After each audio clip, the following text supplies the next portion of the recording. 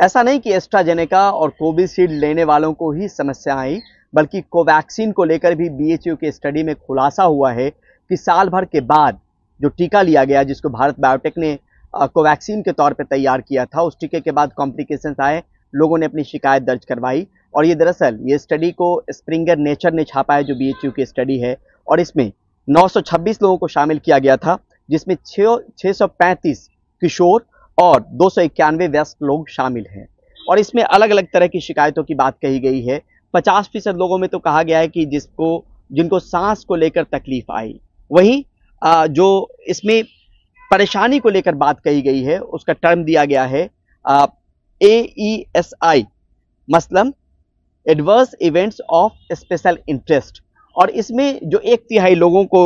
इसमें कहा गया है कि इसमें अलग अलग तरीके के डिसऑर्डर हैं, चाहे वो नर्वस सिस्टम डिसऑर्डर हो जनरल डिसऑर्डर हो, आँख की समस्या हो, या फिर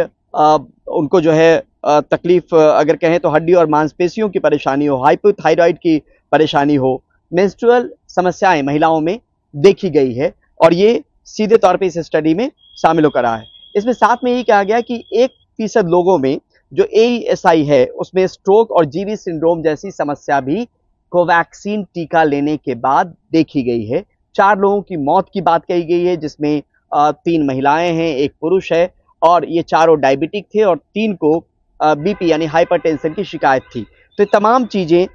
स्टडी में खुलासा किया गया है और ये स्टडी तब आई है जब हमने देखा कि यूके के कोर्ट में एस्ट्राजेनिका ने पहली बार माना था कि उसके टीके के साथ समस्या है और उसके बाद जब एस्ट्राजेनिका ने ये बात कोर्ट में मानी तो कोविशील्ड को लेकर भी यहाँ पे सवाल उठे। हालाँकि शुरुआत से ही भारत सरकार ये मानती रही है कि आफ्टर इवेंट्स फॉलोइंग इम्यूनाइजेशन यानी टीका लेने के बाद आ, आ, कुछ एक मामलों में कॉम्प्लिकेशन या क्लॉटिंग जैसी शिकायत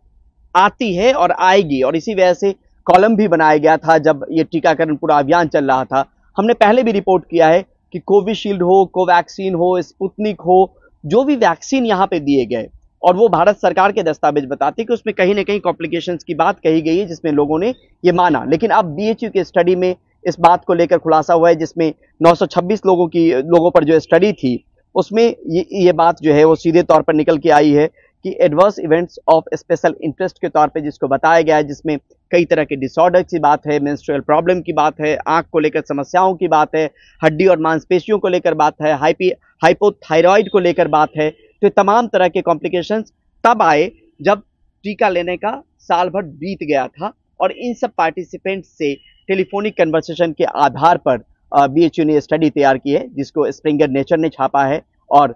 ये सीधे तौर पे ये बताना ज़रूरी है कि सिर्फ़ ऐसा नहीं कि कोविशील्ड या एस्ट्राजेनिका के साथ ही दिक्कत आई कोवैक्सीन के साथ भी इस तरह की दिक्कत आई है। और ये भी बताना ज़रूरी है कि जब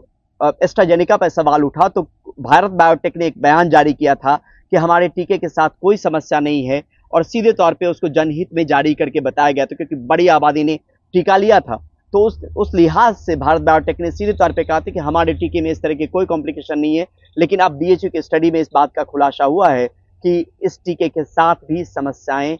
जुड़ी हुई थी, जुड़ी हुई रहीं और जिसको लोगों ने बाकायदा माना है। नई दिल्ली से परिमल कुमार एनडीटीवी इंडिया